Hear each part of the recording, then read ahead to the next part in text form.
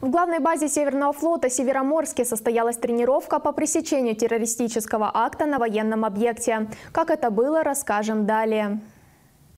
Сложно представить, что на штаб Северного флота в Североморске, закрытом городе, кто-то попробует совершить нападение. Но учения по отражению террористической атаки здесь проводят регулярно. Самая вероятная угроза с воздуха, поэтому перехват и уничтожение беспилотников, а заодно и задержание операторов таких летательных аппаратов военные отрабатывают в первую очередь. Вижу злодея! Встал! Встал! Вернулся! Руки поднял! Из рук все выкинул!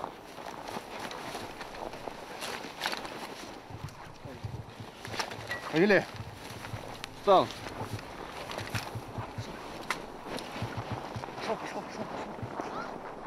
Еще один сценарий нападения – закладка взрывного устройства. Его на территории объекта ищут с помощью специального оборудования. Помогают опознать взрывчатку кинологи с обученными собаками. Ликвидируют опасный предмет на месте.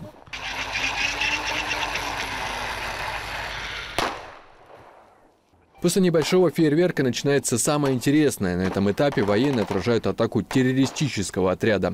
Боевики, в роли которых тоже выступают североморцы, проявляют творчество, изображают нарушителей максимально правдоподобно.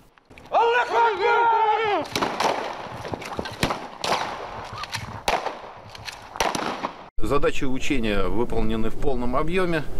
Э, оценка оценивается действие личного состава э, как э, хорошо.